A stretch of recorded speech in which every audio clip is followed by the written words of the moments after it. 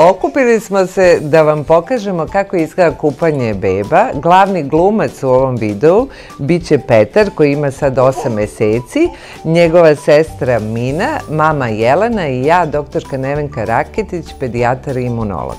E, bebina koža je meka, glatka i savršena u svakom pogledu i naš zadatak je e, da je tako i održimo. Ipak e, koža beba se razlikuje od kože odraslih, e, pre svega po strukturi, a onda i po sastavu.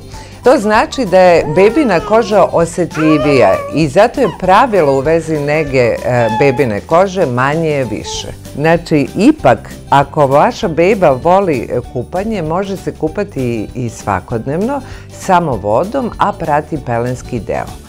Kupanje treba da traje 5 do 10 minuta i e, kada je beba u prvim danima života može se kupati i u lavabou e, s tim što treba e, se samo voditi računa o pupčanom patrku, pokriti ga rukom, a ovaj, da se ne pokvasi, a kasnije se beba kupa u kadici. Treba sve pripremiti za kupanje, kadicu, peškir, termometar za meranje temperature vode, pelenu, odiću za spavanje, kao i proizvode za negu i kupanje. Zbog osjetljivosti bebine kože veoma je važan izbor pravih preparata za kupanje bebe u prvoj godini, a i kasnije kako bi se održao zaštitni površinski sloj kože i mi smo izdvojili Seba Made proizvode. Kadicu treba napuniti vodom koja je oko 37 stepeni kao i bebina koža.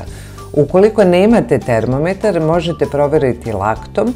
Voda treba da je topla, ali ne i vruća.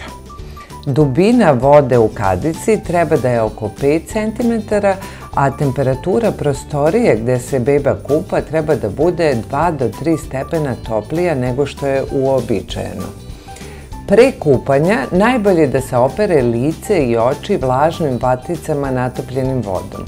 Zatim treba skinuti odeću tako da se posljednja skida pelena. Beba se spušta lagano u kadicu, prvo nožice, a onda i drugi delovi. Bebinu glavu i ramena treba jednom rukom pridržavati, a drugom polako kupati. Treba voditi računa da se bebina glava nikada ne stavlja u vodu, već da je uzdignuta.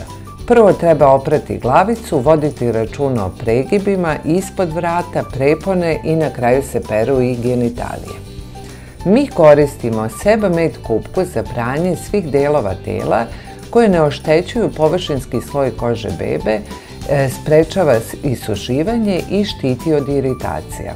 Lako se rastvara u vodi, a može da bude zabavna i starijoj deci zbog pene koje se stvara pri istiskanju i spakovanja.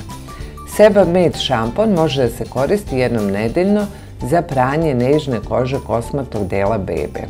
Na kraju kupanja se sapunica ispira vodom iz bokala ili blagim tušem. Beba se stavlja na peškir i blago se pokupi voda sa kože bez trljanja. Važno je da se koža dobro osuši, posebno u pregibima, kao što je pazuh ispod vrata i u preponskom delu. Na kožu cijelog tijela i lica se stavlja seba med nežna krema. Jedna od najnovijih preporuka je da bebu treba povremeno masirati i to cijelo tijelo jer se masažom bebi pokazuje ljubav i daje osjećaj sigurnosti.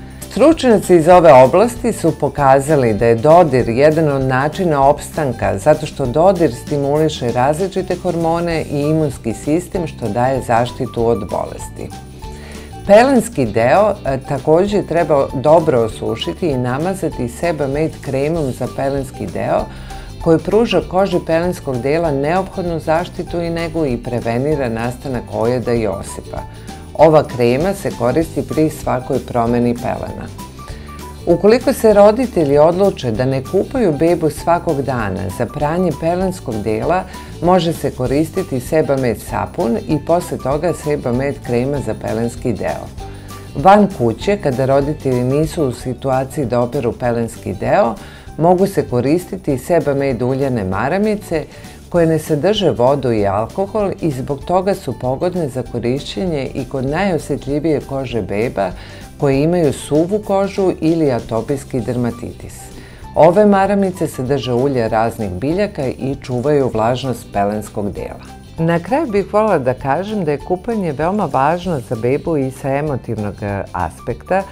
Porodica se okuplja, svi učestvuju u, u procesu kupanja i to daje bebi osjećaj sigurnosti i ljubavi.